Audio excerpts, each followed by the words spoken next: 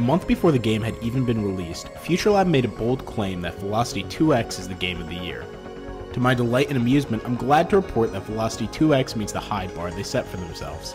FuturLab has made a game that rivals the likes of Housemarque's Resogun for best arcade game on PlayStation consoles.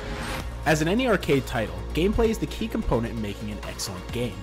Luckily, Velocity 2X makes major improvements in the Velocity formula while keeping the core of the title untouched.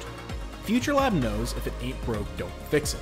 The previous game, Velocity Ultra, has been praised by nearly all critics for its fast paced, high octane space fights. However, instead of focusing solely on space gameplay, half of all levels are spent on foot in side scrolling segments. While Velocity 2X nails gameplay, the inclusion of the long form teleport does considerable damage to every stage after level 17. The mechanic tends to substantially break up the momentum of the player. Often players aren't given any direction about which path to take first, making the formula more trial and error than skill based.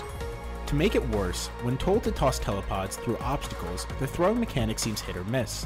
While most of these issues are alleviated with subsequent playthroughs, it's a minor blight on an otherwise pristine system. Thanks to the heroine Kai Tana's ability to teleport and sprint, each side-scrolling segment is just as speed-based as the space missions. What's even better is that all transitions between modes are seamless. While players will constantly feel frustrated by the game, it will never be due to the rock-solid gameplay. What exactly do I mean that this game generates frustration? Let me put it plainly. Within the 8 hours I've played, I had reset stages 440 times.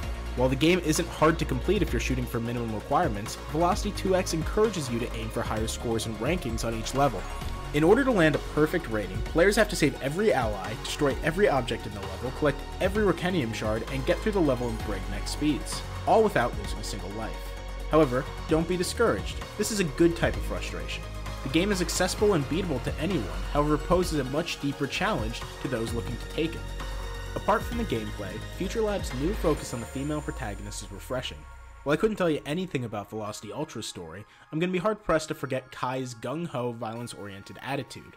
While the game helped to add some comedic breaks in between the action, a more central plotline would help elevate the title. The verdict is an 8.8 out of 10.